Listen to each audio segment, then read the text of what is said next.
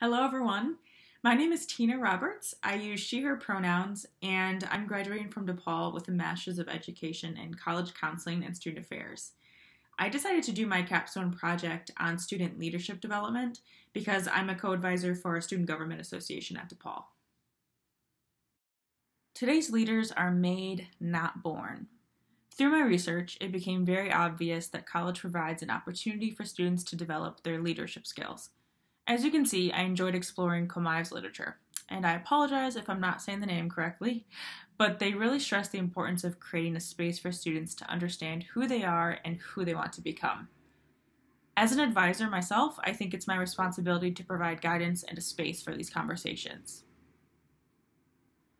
I advise 32 students in the Student Government Association. That means I meet with each student for 30 minutes every other week throughout a 10 week quarter. To implement this intervention, I use the first 5 to 10 minutes of each meeting. The students are very diverse in age, race, gender, religion, and background. I created a curriculum designed to help students name their strengths, understand their weaknesses, and find practical ways to improve their skills. My intervention promotes self awareness and reflection in order to build metacognition skills.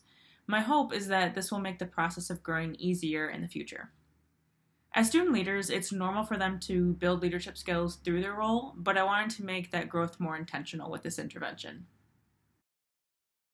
My curriculum is broken down into four stages, one for each time I see the student.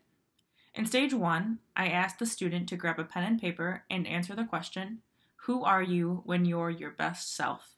And who do you want to be as a leader? I then asked the student how it felt to reflect on these two questions and actually write down the answer.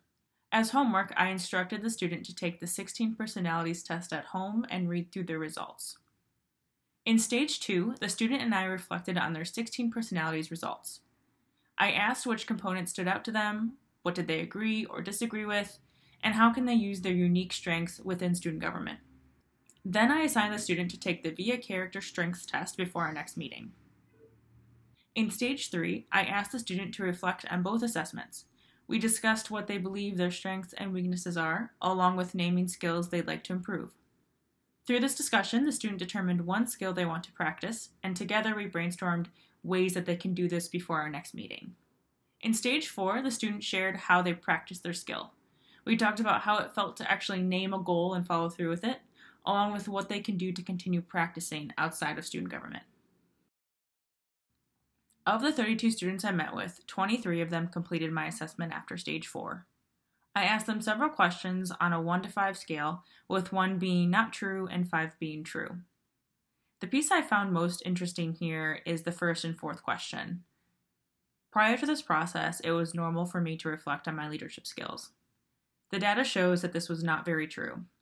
However, after this process, students moved up to a 4.1, stating that they are likely to continue reflecting on their leadership skills. I also provided an open ended question for qualitative data, asking students if there is anything they'd like to share about the process. I saw themes of reflection, authentic leadership, and growth. One student stated, I really appreciated the opportunity to take a step back from my leadership style and focus directly on reflection and the ways that I best work and engage, instead of merely performing. I really appreciate this quote because it's saying that instead of just showing up and checking off your to do list, the student was able to actually pause and think about what they're doing and what they want to be doing. Um, I believe that that intention really, really helps with their growth. After analyzing the data, I recommend that advisors and mentors create space for reflection and plan these conversations. Sometimes it can be hard to squeeze in intentional development when you're already having like so much on the agenda, but I was able to help students with only using 5 to 10 minutes every 2 weeks. That is not much time. so, imagine what can happen when students are provided with more frequent conversations and learning moments. Thank you so much for learning more about my final capstone project. If you have any follow up questions, please feel free to reach me with the contact information listed below. Thanks again, and congratulations, class of 2020.